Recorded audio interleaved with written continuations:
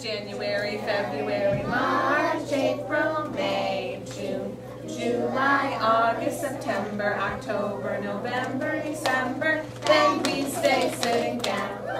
It's November.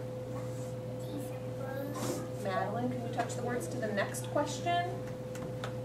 Read it, readers. What day of the week is it? Take a friend to answer the question. Yesterday was when, uh, sorry, yesterday was Thursday. Today is what day? Wednesday.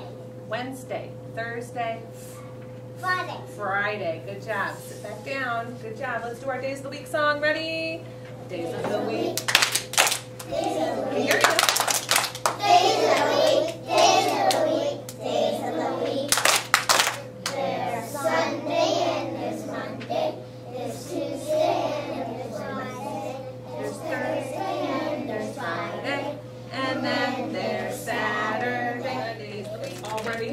November. And we are up to this number in November. Seven, seven. November 7th. Mirror me. Mirror me.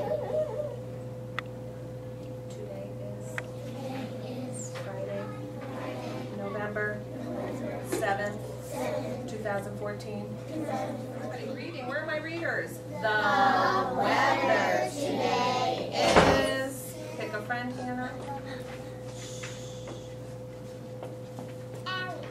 What's the weather like today? I'll take the pointer. It's cloudy. Oh, who remembers? Don't move, Allie. For we are doing tally marks for cloudy days and sunny days. We have four. We have four vertical lines. What, what do we do with the fifth line? You know what that word is called again? Horizontal. Can you take the black pen and draw that fifth line to make a group of Five. five? What does it say, everybody? Count with me. Hannah is ready. Hannah is ready. What number did you write? One. Pass it to Hannah. Allie is ready. What number are you writing? Two. Good. Pass it to Allie. Three. Good job. Danny. And Leslie, what comes next? Ten. Ten. Boys and girls, I'm gonna flip it around next week. Write the numbers backwards. Oh We just added this row of shapes. These are our solid shapes. Who can point to the shape in our room that looks like this one? Let's all point. And what is it called? Square. Well, it has squares on it. What sounds like cube? Can we say cube? We're gonna talk about our solid shapes today. What about this one? Point to this oh, one. Good. What about the next one? Show me gesturing. Good. This one. Triangle. And the last one, the green one. Hexagon. How many sides does the hexagon have? Six. Good. I see a pattern up here. Whisper to somebody near you what the pattern is. Do some pointing and gesturing, please. Pointing and gesturing. Felicity, join in.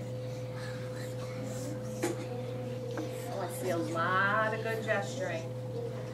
Liliana, do you think you can do the pattern up here while they're still talking about the pattern? Liliana.